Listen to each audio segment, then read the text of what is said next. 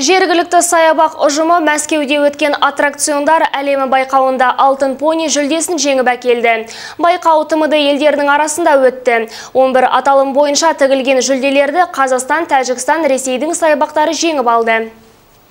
Аттракциондар әлемі байқауы 2014 жылдың наурыз айынан бастау алған. Байқауға іріктеу бір жыл бойы жүргізілген. Нәтижесінде жергілікті саябақ басшылығы 11 номинацияның ішінен алтын пони жүлдесін жеңіп алды. Сонымен қатар НЛО шынжырлы әткеншек слайдер-кар аталатын жаңа аттракциондарды иеленіп қайтты. Во-первых, я скажу о том... Жалпы Қазақстанның атынан Петропавл мен Павлодар қалалары бағымыз сынап көрдік. Мен бұл байқау жайлы 8 жыл бұрын естігенде қатысқым келген. Бірақ Петропавл сияқты кішкентай қала париж лас вегас сынды үлкен қалалармен теңесе алмайды деп ойладым тмд елдерінің ішінде бізге мәскеу сочи душанбе бәсеке тудырды 155 жылдық тарихы бар саябақ Қазақстандағы ең көне демалыс орны саналады. 1860 жылы құрылған нысан бүгінде құлпырып әртүрлі құрылғылармен жаңара түскен. Саябақты абаттандыруға да соңғы уақытта ерекше көңіл бөлінуде прошлом году. Өткен жылы 1300 тал петуния гүлін отырғыздық. Осы жылы олардың санын 1700-ге арттырмақпышымыз. Және 870 тал роза гүлдері саябақтың сәнін келтірмек. Сонымен қатар Колобок балалар қалашығын ашу жоспарда бар. Онда өзімізге таныс осы аттас ертегінің кейіпкерлері орналастырылатын болады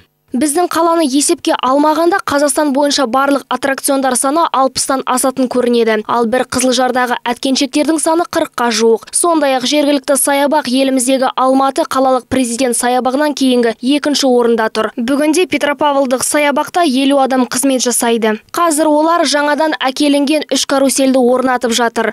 Сағыныш Марқашева, Ақбөпе Тәңірберген, Владимир Боровков, муниципалдық телеарна.